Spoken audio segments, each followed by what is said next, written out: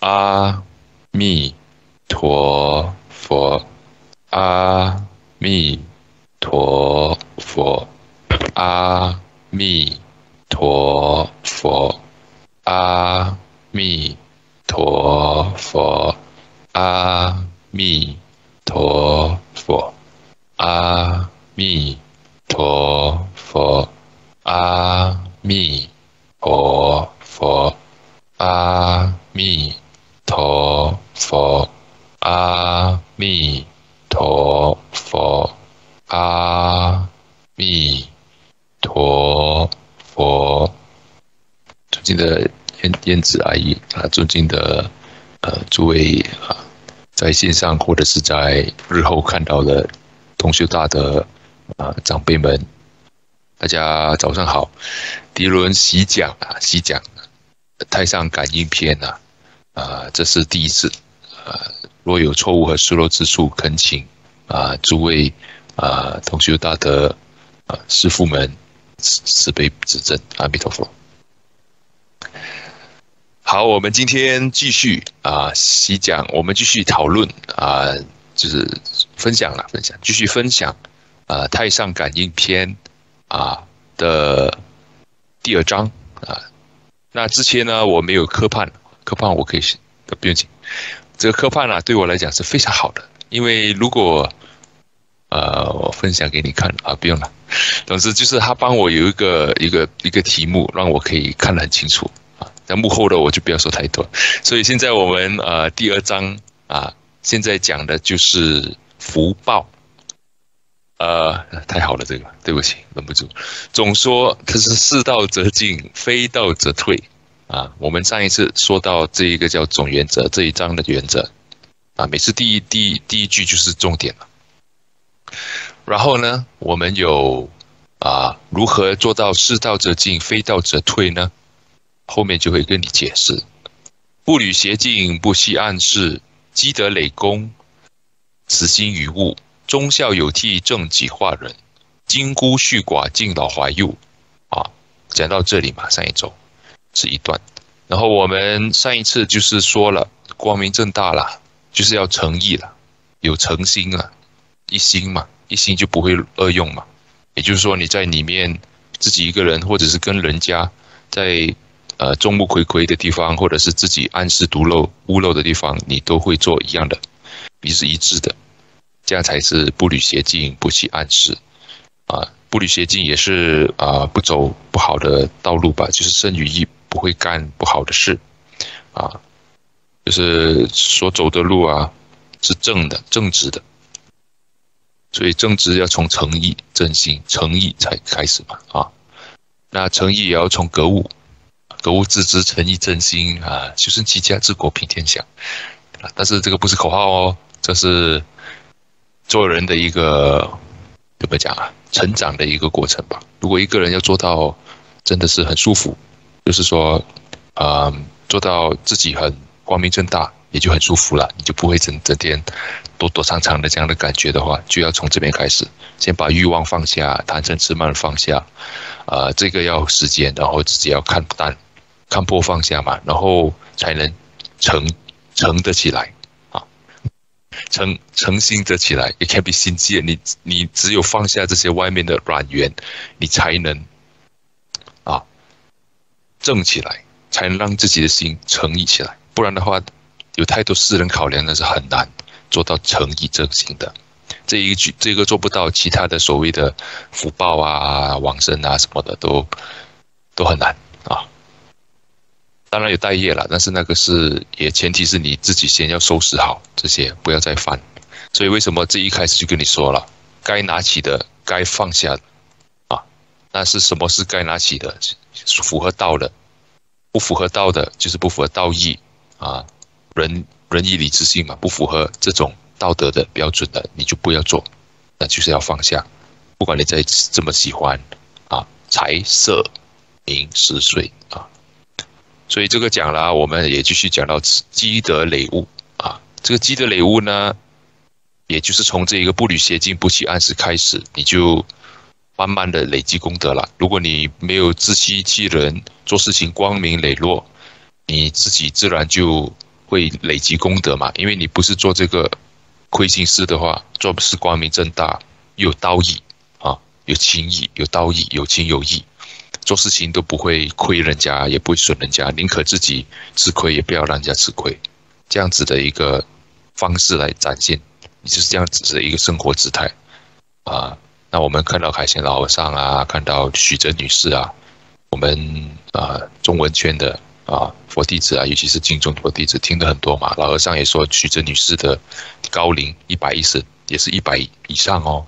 她跟她跟，然后她原因呢，也是跟仙公老和尚一样，都是爱吃亏的。然后自己本身是很少，呃，是穿很简陋，还是从旁边捡过来的那种，然后。百多岁的人，或者是八九十岁的人去照顾七八十岁的老人，比自己还年轻的老人，啊，然后每次看到人家的过世，人家问他许志女士啊，你看到人家过世，你会啊是怎么样的一个感想呢？我说我就当着看路边的人一样，当着没看到，或者说看到了，但是当着没一回事。他就是像六祖慧能说，啊，修道的人啊。他里面不放这种过世的，若真若真修道人不见世间过，所以他这样的心态积德累功，然后你这一个过程就是诚意真心的过程，诚意。过后后面呢，啊也是沉静嘛，慈心于物，忠孝有替，正己化人，啊，嗯，这个就很就这个就跟成呃你自己本身放下这些贪嗔痴慢有关系了。哦，这一个导读差不多是这样了。私心嘛，就是徐志尼是表现出来的，行功老和尚表现出来的，对人啊都很慈悲的，他都不会有斤斤计较，为了一点芝麻蒜皮的事情去去去吵啊还是什么？因为他心很平静，他没有求没有欲，一总是要分享的那种，总是要去服务的那种，看到你痛苦马上要去帮你的那种，根本就不会想到自己。根本就不会想要占你一分便宜，没有那种心态啊！这个境界很舒服啊。老实说，活的活啊，活的人这样子的话，就被白来了，就被白来了。所以为什么天堂就是为这些人而设？极乐世界是为这些人而设。当然，我们虽然程度没到，也是要努力模仿的，往这个方向啊。忠孝有替，正己化人，那是本分的。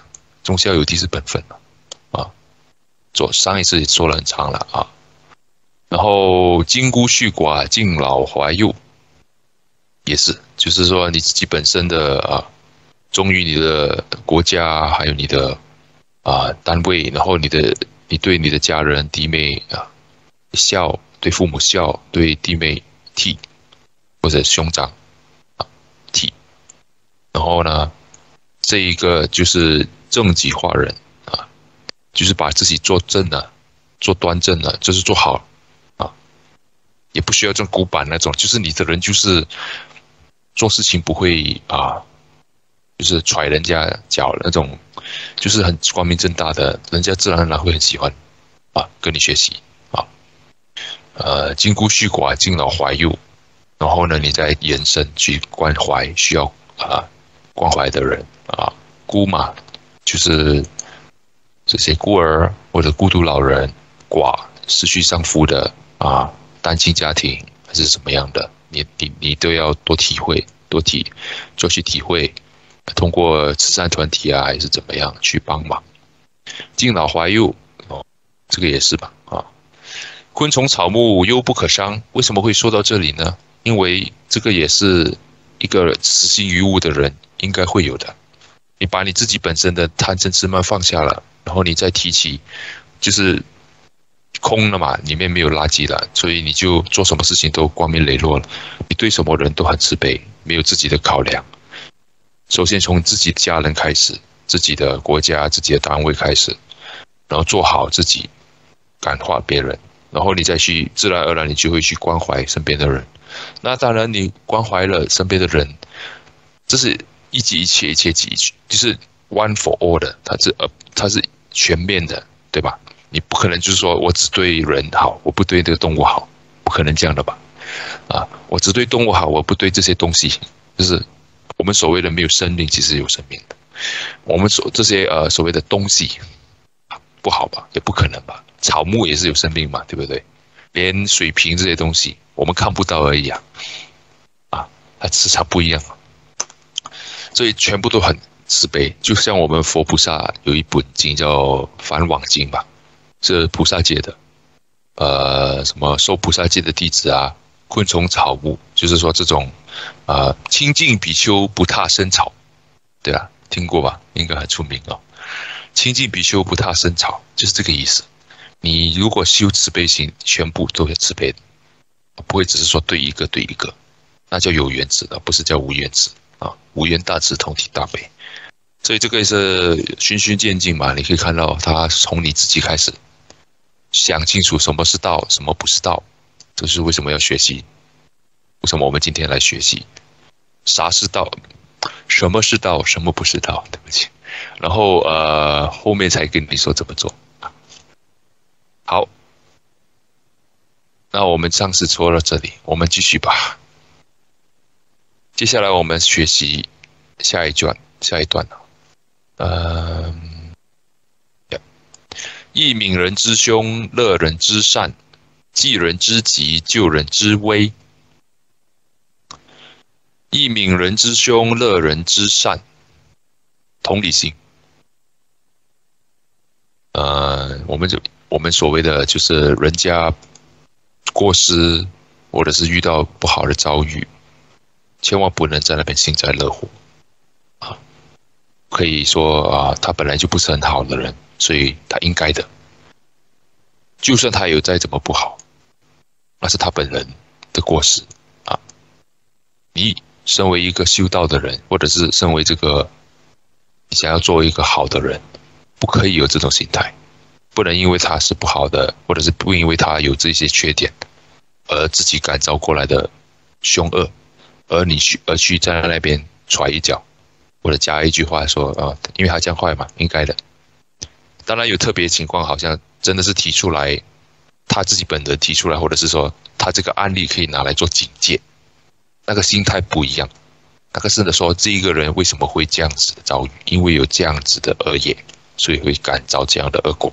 这边《泰山感应篇》的注解有很多这样的故事，跟你说不要干这件事，因为有这样的下场。这个不一样，这是为了要防微杜渐，让大家都可以防止重复。那对他本人也是一个消业障的过程，这个没事情。但是如果有这一种所谓的“该死啊，活该啊”这种心态，那就损你的德了，损你的德，你还期望福报，就像。我们于今一公之前改造前的那一个心态一样，已经造了这么多恶业，还敢求福报？哎，现在我们先罚你还不够，你还敢求福报？所以就是这样，所以必须要很小心。就是啊，什么？道心为微，人心为微嘛，很微细处的，要很小心。所以这一个就帮你检查一下自己。乐人之善啊，相反的啊，阴阳嘛，两边嘛，这也是道家的嘛，很好讲。乐人之善，那你喜欢人家的善，看到人家好的地方要称赞。像我们看那些了凡四训啊，还有于金公，都是称赞人家的善举啊，啊，呃，好像了凡四训有十十十件善事要怎么做，那边有提出很多嘛。其中一个是好像，呃，对不起，呃，呃，是什么河流冲民宅，因为水灾，然后大家都是尸体留下来，然后财物尽量捞，不管这些人的生死，但是只有这一个人才专门救命，不管那些钱财，去知道多少人是损德的，有多少人是积德的，这只有这个积德的人，他去称赞。然后让大家觉得，然后还跟你讲后面，他只要做了这个善果，人家还骂他傻，为什么你不捞钱？有钱捞，人都已经死了，为什么不捞钱？怎么样的态度？但是之后呢，他的福报就不得了，不得了，他整个子孙全部都发达起来了。所以这样子就是乐人之善，而且还不只是心中乐人，还要去宣传出来，这样就对了。看到有好的，哪怕他那么，哪怕他有十个坏一个好，你就把他那个好的放大，跟大家讲他这一点真的好，不好的先别说，那叫隐恶扬善，后面应该会说。啊，对，嘿 嘿嗯，跳了跳了，我跳了，回来回来，OK，济人之急，救人之危，啊，这也蛮感蛮直接的啦。我再看一下直讲有没有比较能引申的地方，因为我本身，好，OK，嗯，可以了。这个救人之急，救人救人呃，救人之急，救人之危嘛。大家呃有急难的时候，好像钱财上面啊，还是什么，你能帮的多帮啊，不能帮的找人找可以帮他的人，嗯，呃，尽量啦，尽量让他们。的急，因为急嘛，有所急嘛，就必须要让他快点度过这个难关了。呃，这是一个有，就是说做人的一个根本吧。人有急要需用叫急，人有祸难将死叫危。所以后面呢，危呢，那是关于生命的；急呢，可能比较不是生命危险啊，可能也是他自己本身财务啊，就看我说的财务状况啊，还是。呃，生活上面的。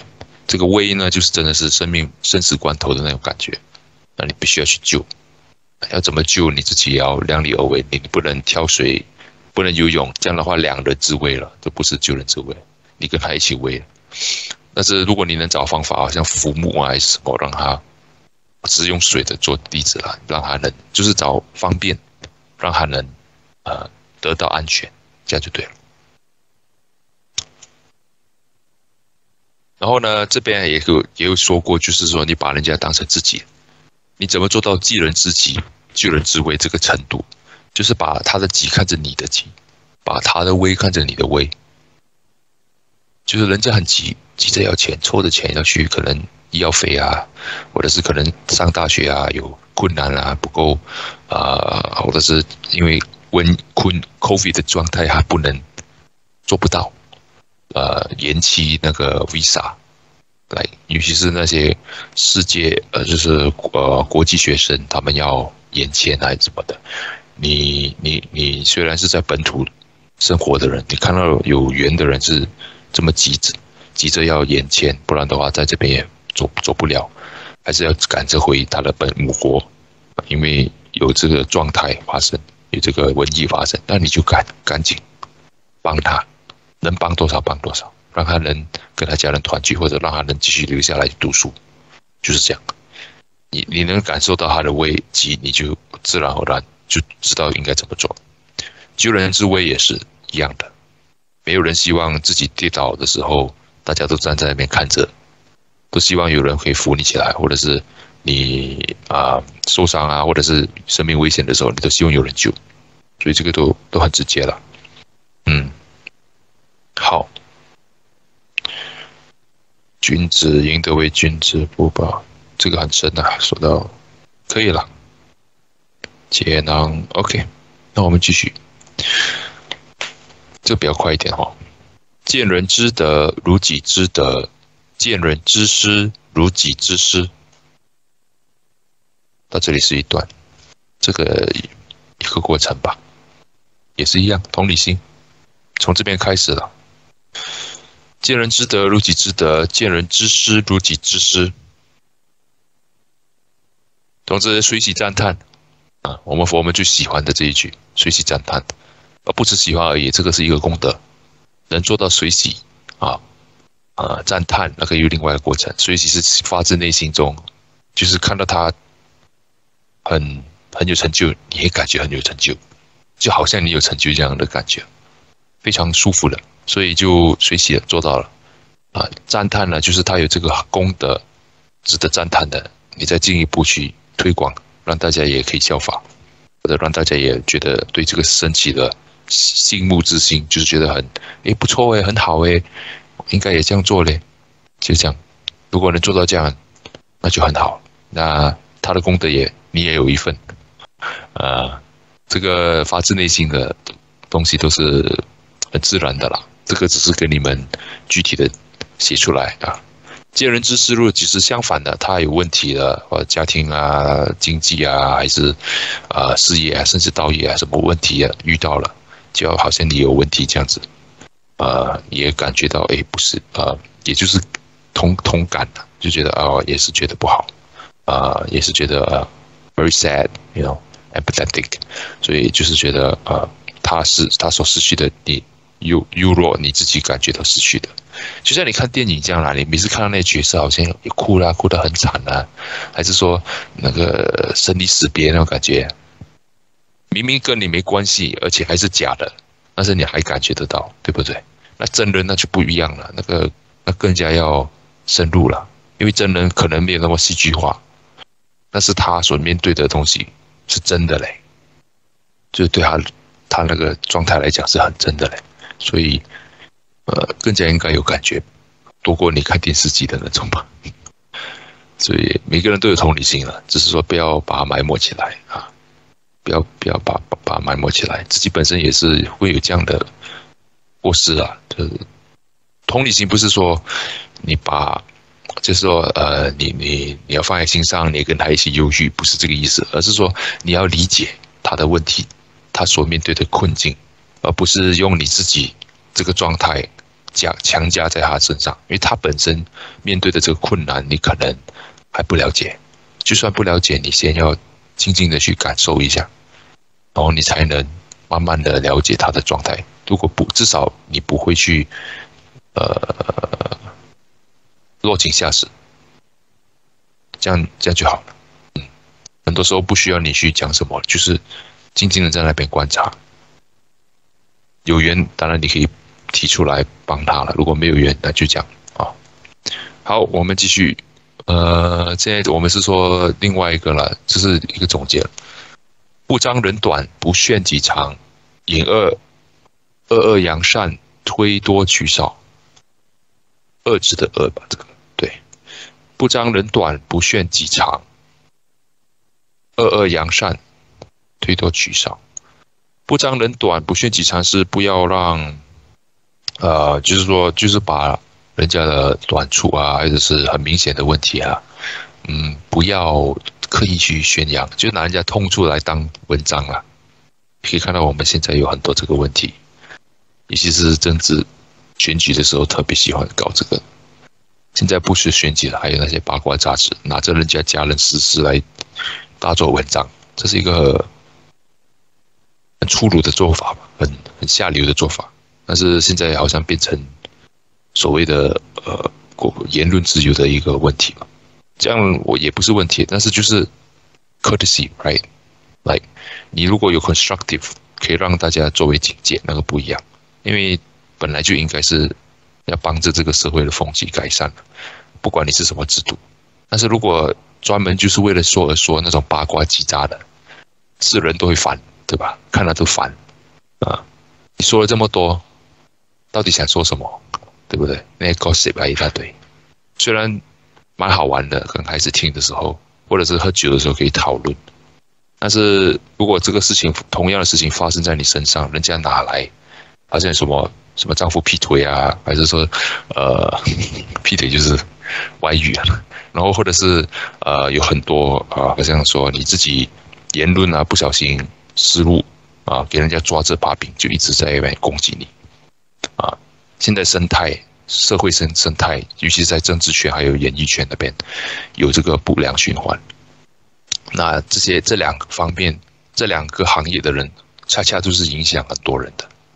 我们这个社会最影响力很大，因为一个是做 idol，就是 statute，这大家都会看着效仿；另外一个就是影响到你的吃喝穿，everyday life you know。政治嘛，policy，they make the policy，他们写出来的策划什么的，如果他们自己，呃，因为有一点，呃，就是说他有很多好的地方没有看到，就只专门针对他那几那几点可能失误，那一点点的失误，这样变成了一种，就是说他本来可以 serve 这个 nation，就是可以，呃，让他发挥很好的，大家因为这种东西是要很好的名誉。才能做，才能做得下去，他的策划才能实行下去，不然他的名誉不好了，大家都不会听他。所以这个不长人短有很重要的 implication，很重要的一个后果，就是说你可以让这个人啊了解他的问题在哪里，然后自己要努力的改过，他的短处就会越来越不明显。不炫即长。另外一个不长人短呢，我要提出来就是，不是说你看到人家错误要包包包庇，就是好像来 cover up 那种感觉，不是，是说你要劝他，如果你有缘，你一定要跟他讲这个不对，但是私下跟他讲清楚这个问题。然后，当然公众人物，我讲的那些例子都是公众人物，肯定是给大家看到了。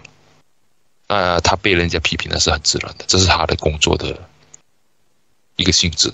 可是说，如果大家社会能比较理智的看待，就是说，不是没有没有人是完人，对吧？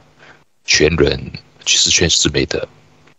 他的短，如果不是说做到那种很过分，或者是做到那种天地不容、鬼神共愤的那种 感觉的话，就是可能暗地里啊伤害那些什么。民间家庭那些就应该被骂，但是我的意思是说，好像一点点瑕疵，那就不要再大做文章。本来没有的，给你说都有；有的你就给他说成是有一个，你就给他说成十个。人就是传传东西就是这样传的。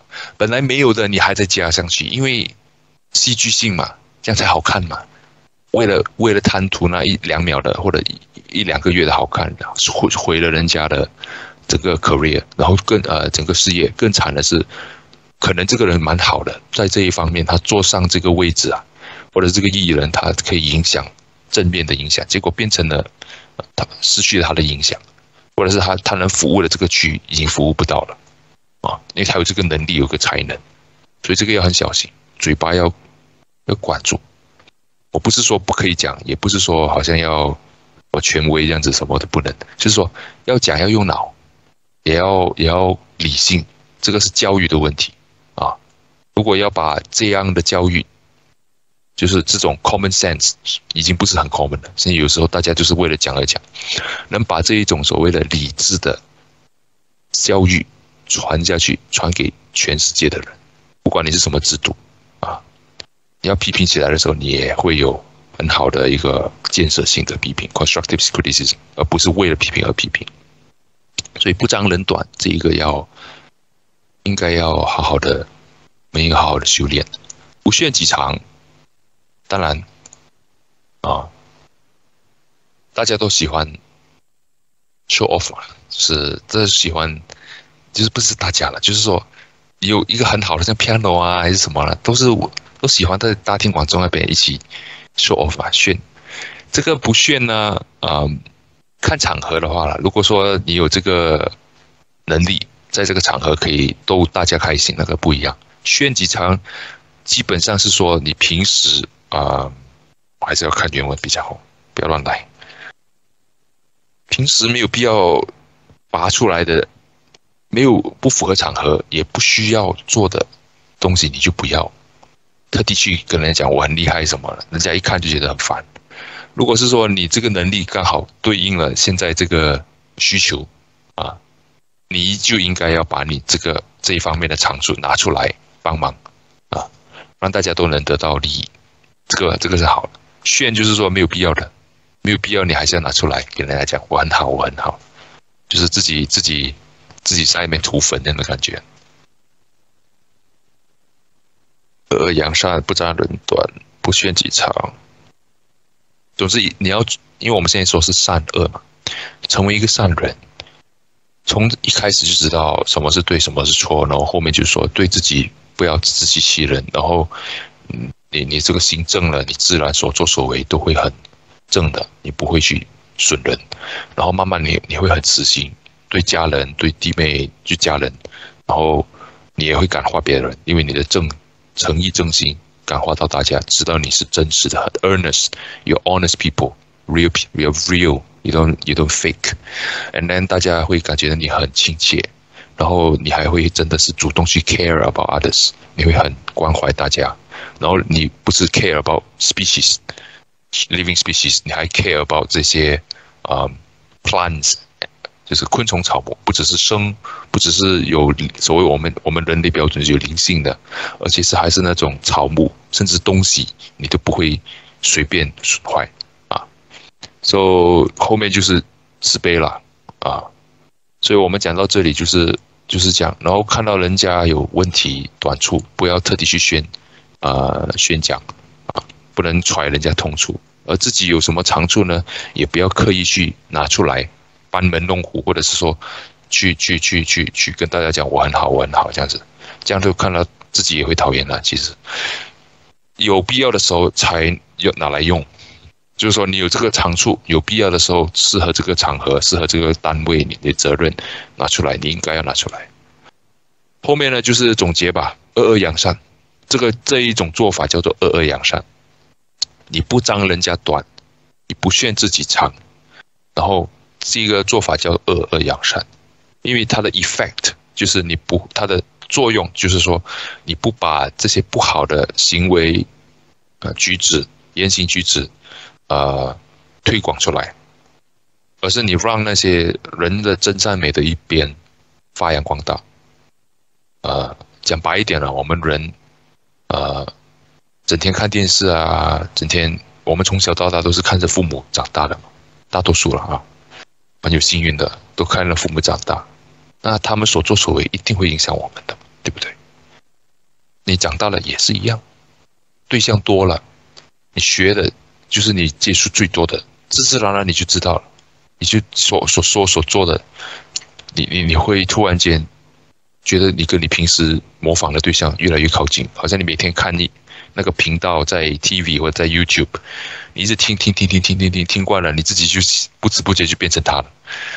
人就是这样模仿的，所以为什么要必须要让大家有机会多模仿善的，不模仿恶的？首先从自己开始了。所以到这里就是一段了，推多取少，叫推多取少啊，这样跟《弟子规》很像，《弟子规》有是取益多，哎。不是不是不是，予益多取益少，啊，你给的多，你自己拿少一点，啊，宁可人家拿多一点，自己不要拿多一点，这样就好。好像可能在食物方面啊，分享啊，让大家多吃一点，自己少，这是小的，大的可能是金钱利益上啊。好像有一个故事，李嘉诚为什么这样？那很旧了，但是他现在还是很成功吧？虽然不是，虽然不是首富了，我看，不知道了，香港首富。管他，他就是富。总之就是他为什么会做生意？他这样多人肯跟他做，给他这个 project，因为他这个东西肯定不是一个人，没有东西是一个人就能成的，肯定的。越成功越大的人，后面越多人在堆积，后面越多支持者，包括政权呐。你看古代，我一直很喜欢看古代皇帝啊什么的，要一大堆功臣在那边帮他。所以你做一个大老板，像李嘉诚这个程度也是一样，啊，那他在这他好的地方是什么？他每次跟人家做分分配那个利益的时候，啊，我不知道那个真正的词是什么，就是分配利益的时候，他会给人家多几个 percent，啊，自己拿是 nine percent，给人家 eleven percent，哎，eleven percent of how many billion？I don't know，but 他可以分多一点给人家，那大家就会觉得我跟他做生意，啊。第一合作真的很愉快，因为做生意为了就是就是得到盈利嘛，而盈利这个地方他可以给我多一点优惠一点，哎，我就很开心，我就很喜欢跟他。这是从一个一个就是现在现实生活上面你能做的就是这样啊，没有人喜欢跟一个什么都算得很准的，结果还要找办想尽办法还要坑你的那种。就是找找一个转动了，要要要从你这边捞多一点的，哪里有人会喜欢跟这种人做事做事做生意，或者是做朋友？不会的吧？一定会更喜欢一个呃很真诚的，然后也很大方的人，对吧？那喜欢这样子的人，不如做这样子的。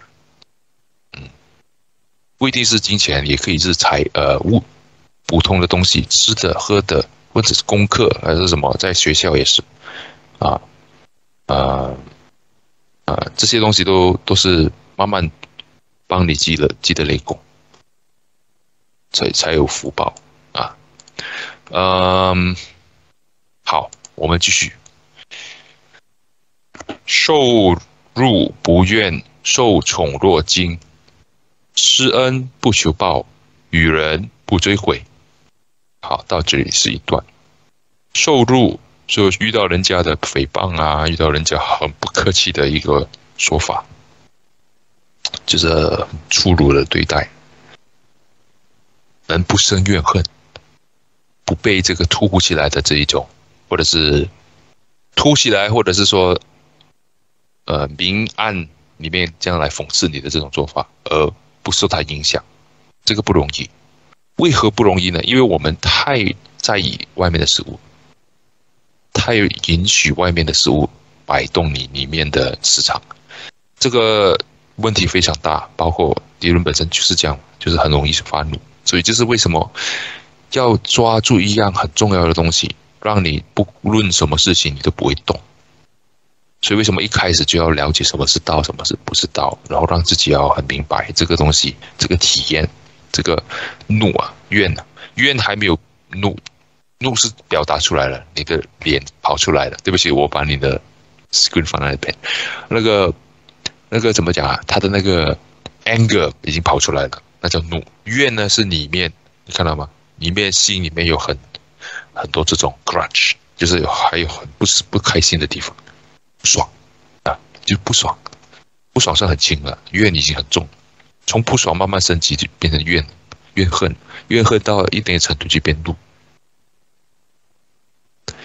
所以为什么说受辱不怨？就是你接受这种不合理对待啊、欺负啊，我的身体状态很惨啊，公司啊，老板对你不好，或者员工对你不好，学校啊被欺负，get bullied，或者是被被啊被人家排挤啊，在道场啊或者在哪里啊，有时候做事情有点啊可能慢一点还是什么，跟人家讲，或者说你做的不好什么。但是你自己做不好，那个是应该的。但是如果说确实没有这个错，但是就是给人家不理，去给人家机会，啊，这样的话肯定是很委屈吧。要讲，然后慢慢慢慢就会变成不不平不爽，然后就不就会变成不是就是不平很不爽，然后就变成怨怨。如果再让它累积起来，就会变成愤恨怒，那就爆发了啊！从口口斗。可以变成凶杀案了，都是的，啊，都看了有多严重，所以为什么不怨是很重要？要怎样让自己不怨呢？这是功夫啊。那我们有因果概念的人，我们很容易啊，可以利用这一个呃认知啦，加强自己的呃排排输系统，our。exhaust，然后那个车要排废气出去嘛，我们也要学习用这种因果概念来排掉。呃，就是怎么讲呢？就是我以前可能是这样子对他，所以我现在应该是接受这样的。当然也还是会不爽的。你这样讲只是头脑 conscious 跟你说哦，你不应该这样，那是理智，但是暗地里你还是会不爽，这是事实嘛？那你你你你要让时间来证明，你不要让它发展啊。你明白这个道理，当然你现在还无法真正体谅这个道理，还没有真正体验这个道理，你只是明白而已，还没有真正根深蒂固。说我真的是这样，因为你看不到前世嘛，你看到前世你就不会这样讲，你看到前世就说哦就是这样子对他，哎，明白明白，应该的应该的，我们没有这个能力，所以为什么要用这些故事啊，或者是这些道理来跟自己讲？但是除此之外呢，嗯。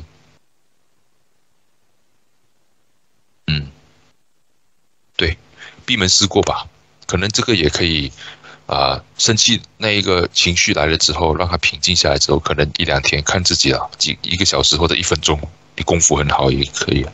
你可以去想，我到底在哪里做错了？我这边确实没错，那就那你就不应该让这样的事情去伤害自己。如果你确实有这个错啊，那就哎，好啊，这样提醒你嘛啊，这样就。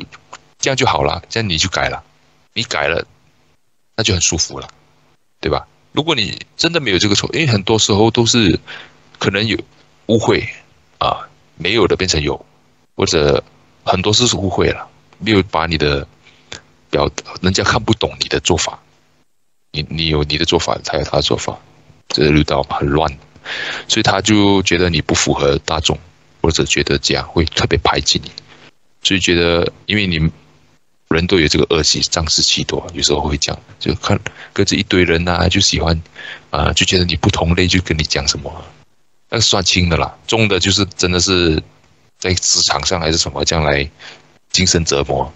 啊，这种也有啊，这是真的是前世找你来找你来还债的，或者找你来抱怨的。这个念头很重要，就是说我可能这一个就要消掉，我没有这个错，但是我还接受，代表我的这个恶的会消掉。如果能用这个道理继续跟自己讲一百次，应该会比较好受一点。那另外呢，如果如何让自己不怨呢？也我敌人有个小小的 tip，可能你可以给自己一个做个参考吧，可以自己有一个。有个中心点吧，就是说，因为这种东西会把你给摇摆，是因为你自己的、你的磁场、你的心境没有一个主心骨，很容易被人家拉。你如果有一个很强烈的一个概念，你就不会管人家了。像我们说阿弥陀佛，如果这一个阿弥陀佛能用得好，出去来讲很难，但是你能抓住它，不要让大家动摇。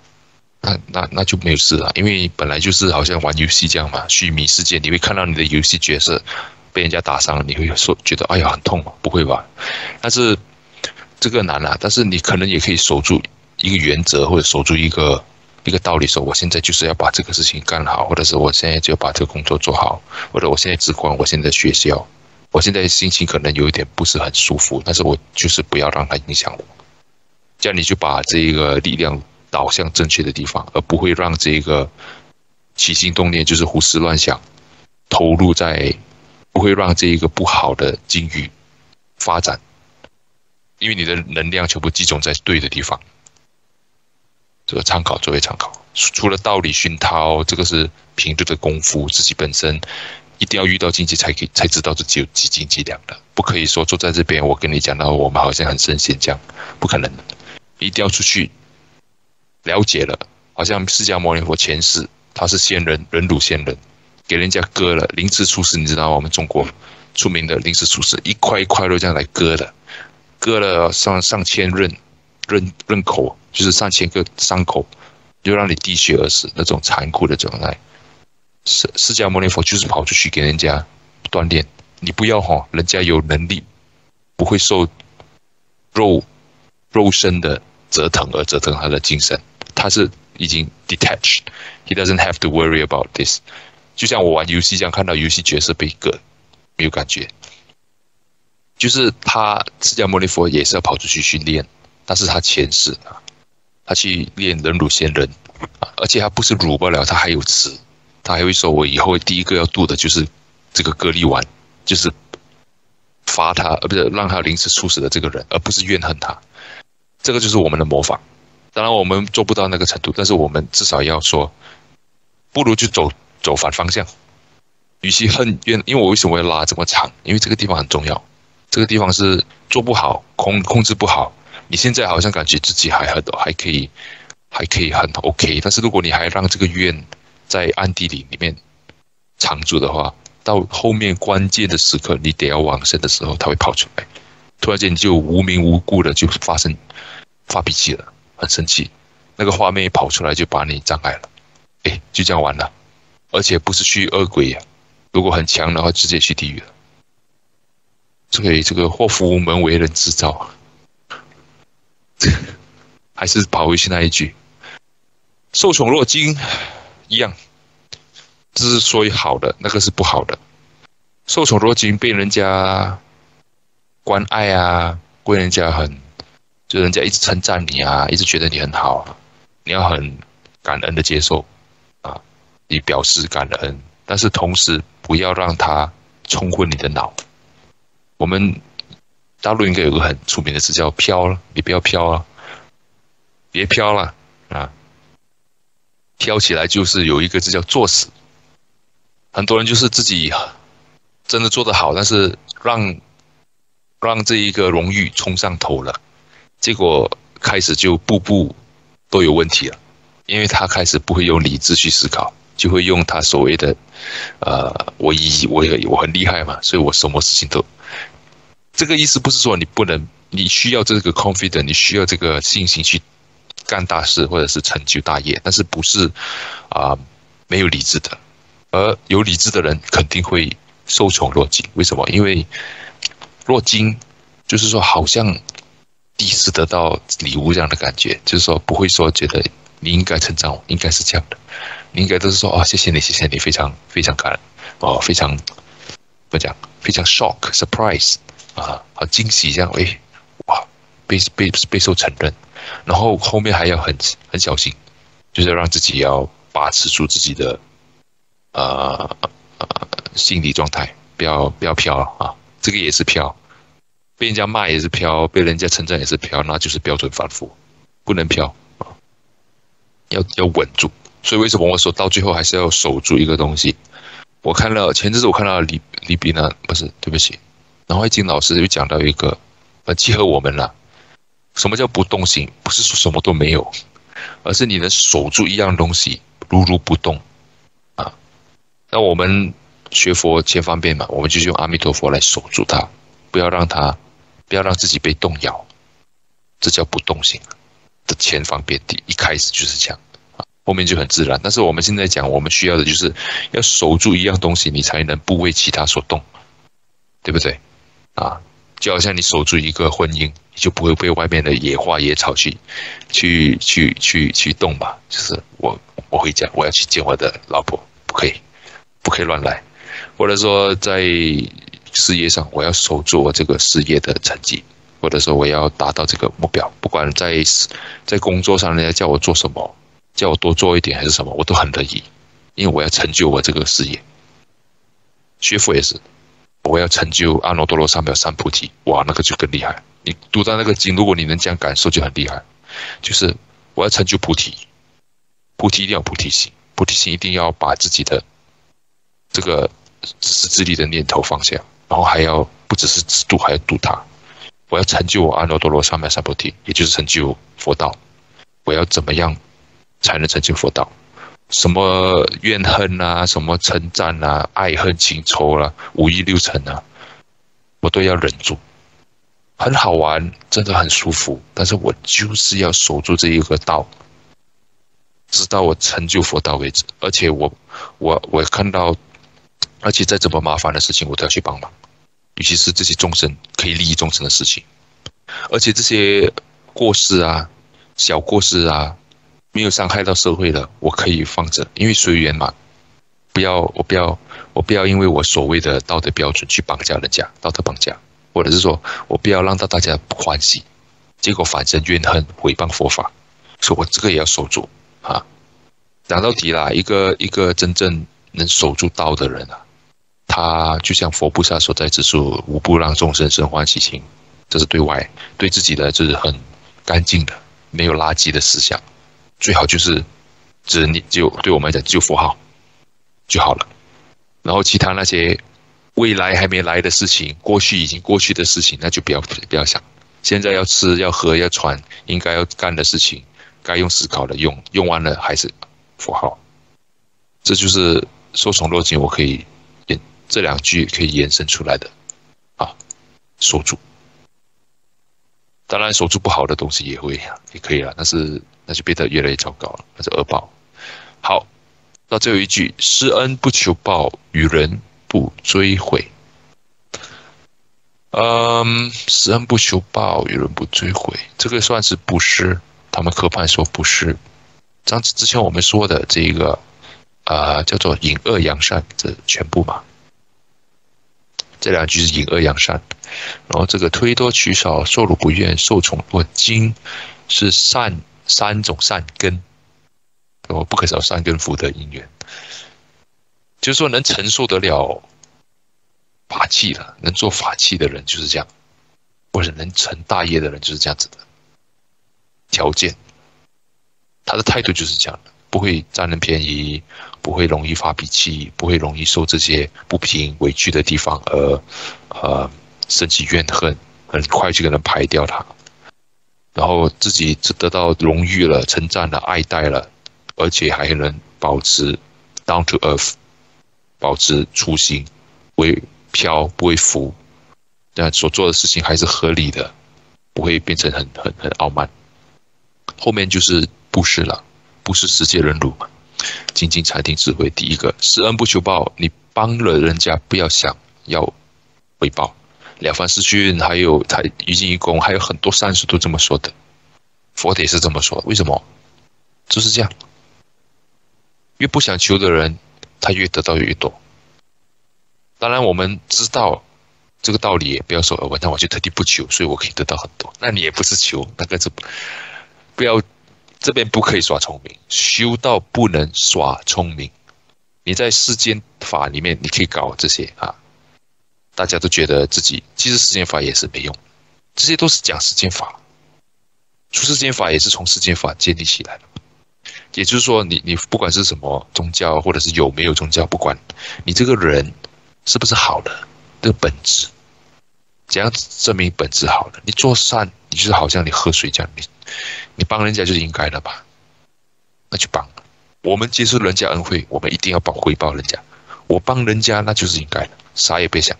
帮了就算了，与人不追悔，给了人家就不要追悔，追悔有不好的果报。佛佛也在经上讲过，你给了人家钱，或者是布施人家，或者是或者说帮救济人家，而且你后面又后悔了，那就是自己的自私自利还没断。那个果报是什么？你得到的这个福报会得到很辛苦。如果人家可能坐在家里就可以得到一万，因为他以前是他布施的时候，或者是他。抖内的时候，他抖内的很爽快，他给了他就不想。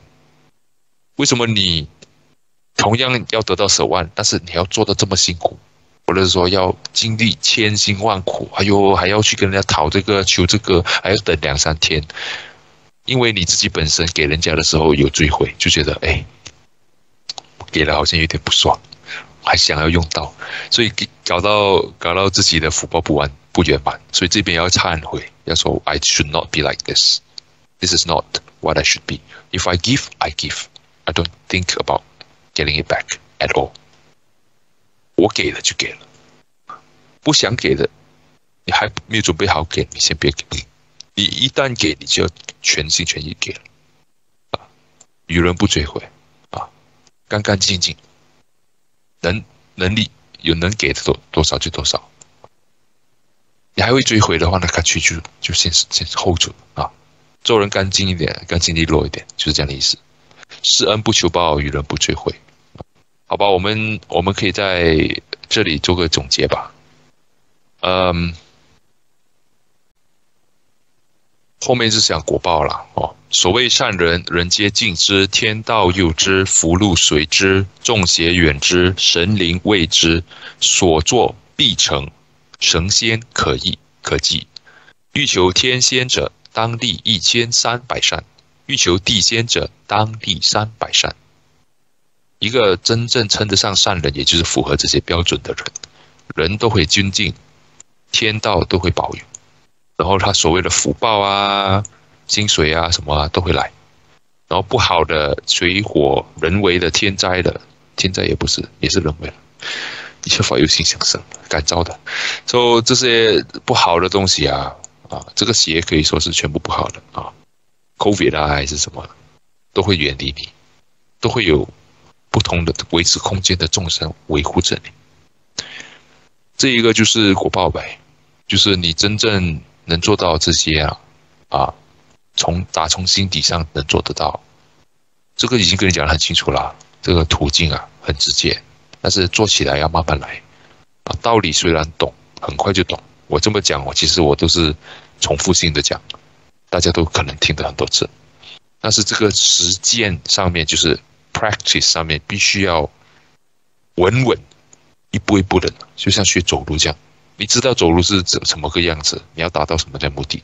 但是你真正行步的时候，一脚一脚印的走，走到稳稳当当的，不要。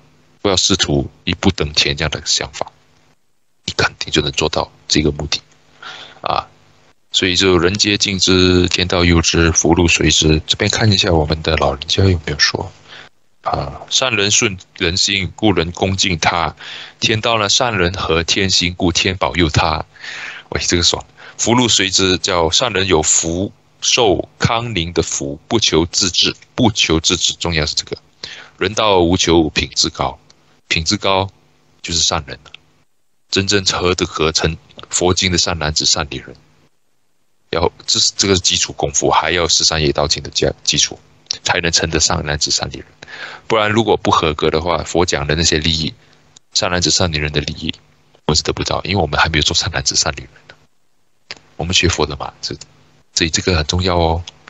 啊，哦，OK，有居官享受的路不谋自来。总之，你的官位啊，你的 career 啊，就是就是，it's present to you on a silver plate，他就把呈呈上呈上来给你了。所以这么便宜的事吗？其实不便宜啊，这就是你的。其实老实说啦，你本身的佛性就是这么圆满的。就是说自己本身因为被这些污染太久，所以就没有发现到，根本就不知道，所以以为世间本来就是这么黑暗，不是这样，而是我们扭曲的太厉害，才会搞成这样的样子。所以，我们恢复的过程中，这些福报自然恢复回来啊，不是我人家赐给你，而是你你的本能的那一种正能量，那个磁场越来越越恢复越强。所以，为什么善作为？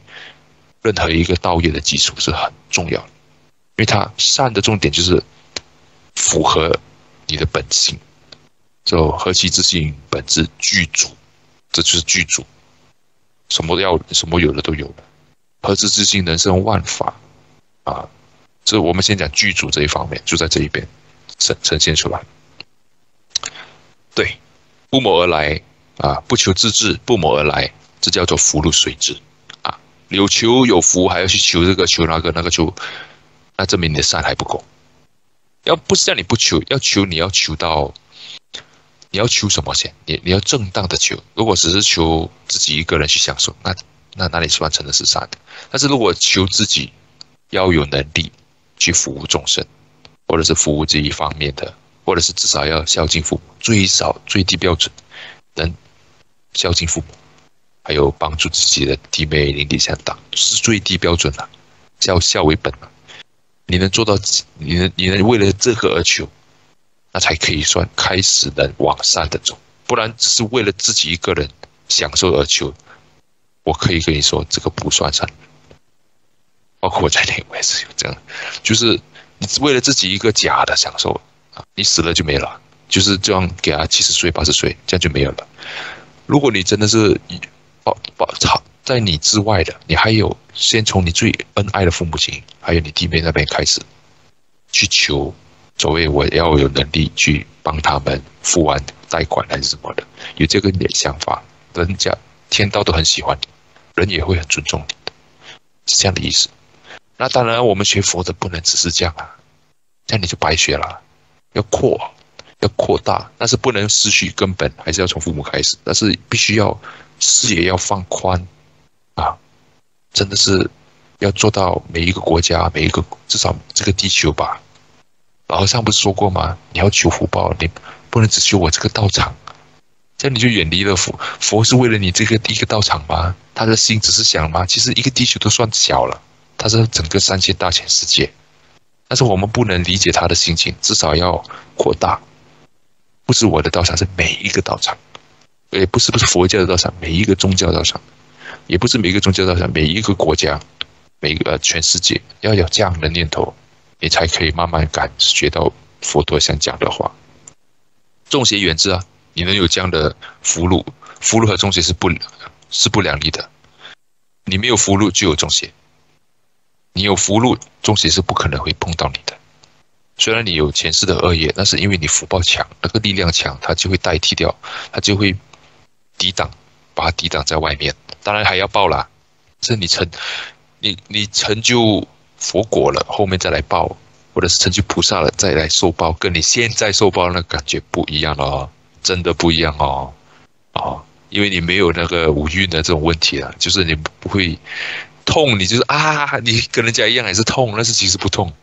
啊你会比演的比人家还厉害，很很痛苦，很辛苦，但是你就是不痛，现在啊，你是真痛，其实也不是真痛，但是你就把它当真了嘛，所以就是真痛。对你来讲，对我来讲是真痛。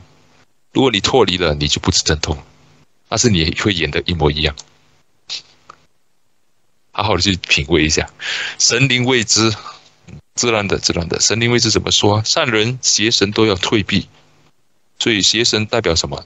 瘟疫啊，魔鬼啊，不只是说哦，Satan 什么？就是说，好像这种 COVID 啊，这些 disease disasters，they represent 这种不好的啊事情发生在你身上，瘟疫啊，战争啊，这些都会远离你。不敢侵犯佛佛的经上一直都说，为什么还说这么多？是大家都关心的课题嘛？啊，对吧？关心的课题啊，你去记得为什么？为什么躲躲避这些东西啊？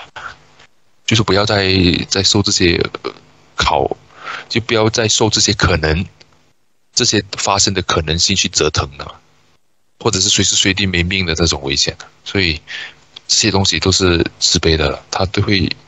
响应我们需要的，正神会守护、消灾解厄，所以如何要去求神、求平安？我们每次去庙里拜拜，尤其在台湾很多庙里拜啊，马来西亚也是啊，我们华人很喜欢拜拜，求保佑平安，保佑我的家人，好像我保佑我外公身身体健康，要怎么保佑？是不是只是归家那边保佑呢？那个只是缘。那你有什么本来去求保佑？就是你的善行，就是你的那个。做人的根本，那个佛性，我们讲佛性，或者是你的人之初性本善，这个至善的心啊，也就是你做人要要对得起大家，对得起天，对得起地，对得起自己，对得起父母，也对得起自己哦。怎样对得起自己，就不要整天在自己这个虚假的身体身上花太多时间，多一点服务大家。你才发现到你很真是最快乐的人生，绝佛是人生最高的享受就在这里。做到这个，你的享受才真正的开始。比起你去喝什么名贵的酒啊，去吃什么名贵的食物啊，去看什么经典啊，这些都这些都可以。但是就是说，这些只是旁边叫做医报。你的正报是什么？就这个啊，你有这样做的这样的你你有这样这样的 environment 的，你再去。享受真正，如果你福报到了 level，你可以去享受。你去享受的时候，你看到你就很舒服了，心安理得。当然，我们劝你还是把它留在最后。但是你的什么 level，你能享受的东西，你你要去享受都可以。但是最重要要把根本抓好，那些都不是根本，那是果实。所作必成，哎，这个好嘞。好事多磨，听过没有？为什么？你福报不够，或者缘分不够。所作必成很重要。成就一件事情要很多缘分，很多因素啊在一起，所以呢，所作必成啊，就是说你这个善人，好像范仲淹、曾国藩这些比较靠近宋朝的，也不是很不是很靠近，岳飞啊，我们这些民族英雄，为什么他们到现在还会感动人？我小的时候一看岳飞就哭了，为什么？因为就是这个这个人是真的嘞。他来真的嘞，他不是装的，他也不是什么演员，他是一个可气可恨、可可气可悲的，但是又可叹可很很悲叹的一个英雄吧，民族英雄啊。虽然后面一后面，唉，后面的队友一直踹他的脚，但是他自己还可以把要把正确的事情做好，所以这个是很感动啊。范仲淹呢，他就比较温和，他的情况就是他可以。啊，留下那些田一田给他自己的他的亲戚家人，而且他自己本身又是做事的很勤俭，让大家都觉得很恭敬。这个不是因为以前中国贪官，别中国，全世界，但是在中国的这个系统里面，贪官的总是多了嘛，是恶多善少，真正能做到这么正正的，也没有几个，他就是其中一个，所以这些人就是善人。而且他们的善越强，他们的事业可以留得越久，大家越大家越能感动越越后面的人。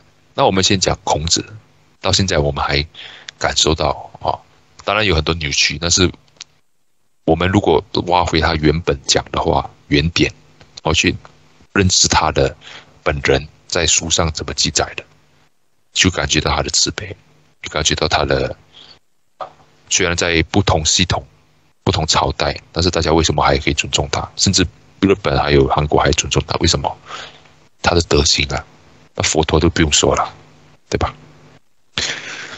呃，好，我们继续。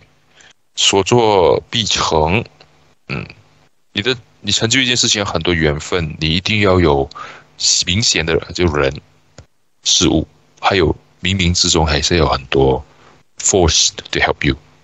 好，我们可以说是 nature force，或者是天神，或者是善鬼，全部会帮你，因为他帮你，他也得到利。在天蝎，他们要讲保存他们的天机，他们要帮忙善人去行善，所以人道是最好的。叫做锻炼场，没有人道的话，你什么后面其他都是从人道 extrapolate 出来的，就是说它是一个 mirror reflection。如果你越来越扭曲的话，就越来越下面；你越来越纯净的话，越来越上面。纯净到一定的程度，突破了，你就是阿罗汉，然后就升，是这样的一个想看法了。所以在人道为什么上天的人的要跑下来去练？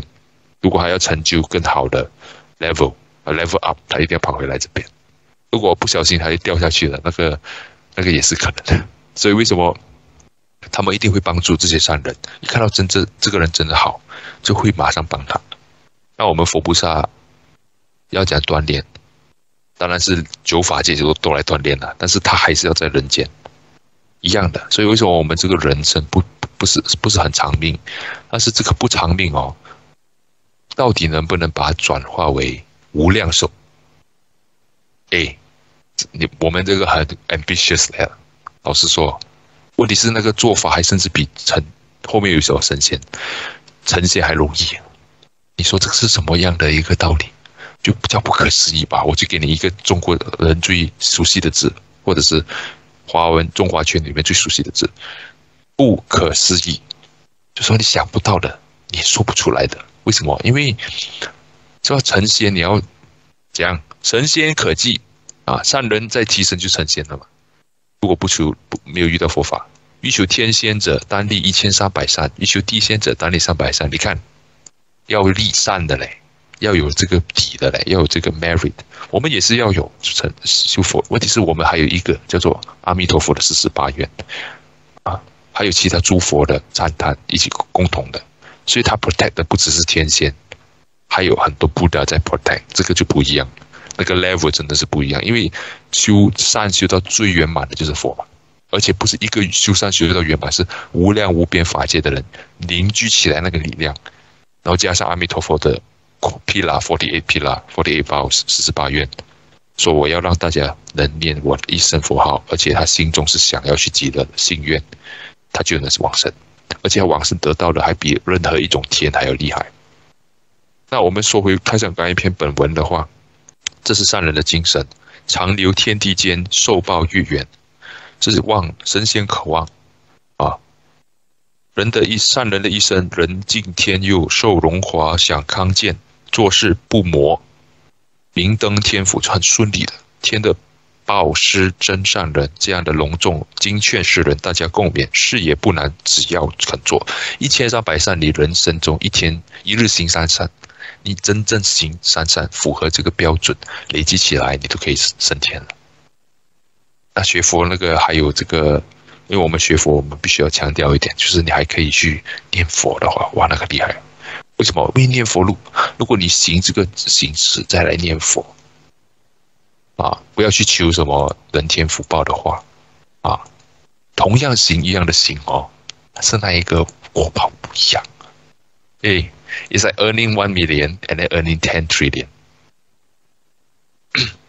赚一亿还有赚一千万亿，那不一样的。那是因为心不一样，因为它是菩提心。但是讲讲回根本的话，所行那个纯心要从这边开始。那个方向呢，我们学佛了就要定极乐世界，要搞清楚。像我们学无法师为什么要强调这么多？到底为什么要念阿弥陀佛？为什么我们要认识佛教？因为这种东西根本啊，还有《地藏经》，为什么说《地藏经》？我前阵子听了二零一八年的，谢谢燕子老师播，很感动啊。他就是说到这个做人的根本啊，就是这个《地藏经》是讲这些，就是你的根本啊。做到这些了，你再用这种成佛的那个菩提心去，去去发展，就是你守住那一个道路的话，那你的果报就是极乐世界，也就是无量无边法界。你也可以实现为太上感应篇的太上老君，教人家，人家如果还不肯相信，那就就叫至少升天呗，爽吧那边想吃想喝想穿都有，你就不用那么辛苦。时间到了，你还可以发现什么的，什么什么尊者在那边来度化他都可以。佛佛不会偏不不会偏心。那迪伦在此哈总结一下。神仙可易聚，言神仙只在机上功行圆满，超居洞天，叫做天仙。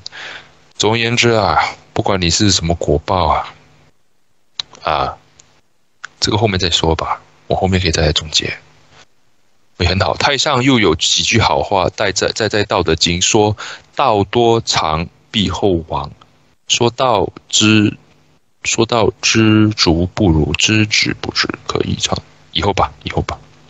总之，我们在这边所看到的总结就是，呃，修善积德这件事情都是你的心，然后我们要知道标准在哪里。上一次我说过了，太上感应篇就是一个标准。为什么这么多古人，甚至现在的人，我要依据它来修行，在自己的岗位上运用？因为你能这样做，你能做到每一条。功过可是跟这个依据这个的。The Book of Merits and Fault is based on this. Every single phrases of this，就跟着这一条一条来走的。为什么？因为它本身就是很符合，不管哪一个时代，它通你的本性。你能做到，你的福报就会来。开始会勉强，开始会很假，或甚至开始做不到。但是你已经知道什么是对的，那就是第一步了。后面你就慢慢来，啊，提升，提升。不懂，多听，听。好像我们燕子老师学分享的。好像修法师讲很多，还有净空老和尚、悟行师傅、悟道师傅，全部这些善的。而且，如果你是一门深入，跟着我们老和尚的系统，这些法师们都是跟老和尚的系统学习的，所以都可以听。一个老师，但是不同方面也可以听，很好的，真的。嗯，加油吧！那我们说到此地啊。莫学学生啊，学生底轮若有出漏和错误之处，恳请诸位长辈、诸位法师、诸位同学大德批评指正。阿弥陀佛。先拉回来。好，我们先恭念十声佛号，然后再回向。抱歉，超时了。阿弥陀佛，阿弥陀佛，阿。弥陀佛，阿弥陀佛，阿弥陀佛，阿弥陀佛，阿弥陀佛，阿弥陀佛，阿弥陀佛，阿弥陀佛。愿以此为今天习讲《太上感应篇》功德，或录制或宣扬《太上感应篇》之功德，回向给净虚宫变法界微尘刹一切众生，回向给啊在场所有同修大德的冤亲债主、家亲眷属，以及本人一切众生，啊，也回向给啊呃世界各地罹难。苦难的众生，啊，天灾人祸受难受苦的众生，啊，也期待大家都能早日啊成就啊，呃，道业，或者是有所求，也能早日圆满。但要求大家要好好的努力，行善积德，啊，不要啊浪费了这个人生的机会。愿以此功德。庄严佛净土，上报四重恩，下济三途苦。若有见闻者，悉发菩提心，尽此一报身，同生极乐国。阿弥陀佛。